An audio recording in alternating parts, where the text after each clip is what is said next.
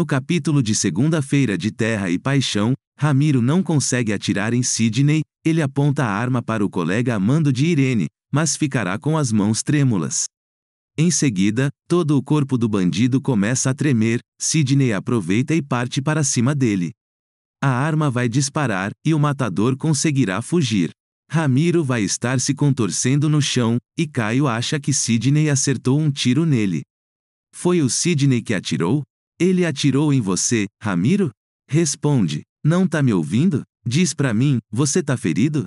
Fala comigo, grita Caio muito assustado. Ramiro não consegue falar nada e se mantém tremendo e caído no chão. Então o filho de Agatha procura alguma ferida no corpo do capanga, mas não encontra.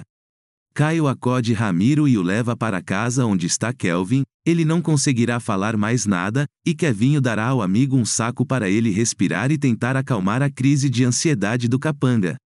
Depois, Caio vai à delegacia e conta a Marino o que presenciou.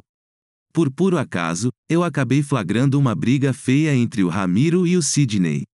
Pelo que eu entendi, o Ramiro estava ali para matar o Sidney, mas não conseguiu atirar. Irene fica surpresa ao ser confrontada por Kelvin, que defende Ramiro das ameaças dela. Enquanto isso, na fazenda dos La Selva, Agatha continua dando uma erva a Antônio para enfraquecer o marido. Marino, seguindo o plano para prender Sidney, orienta Franco a dar o dinheiro falso para Tadeu.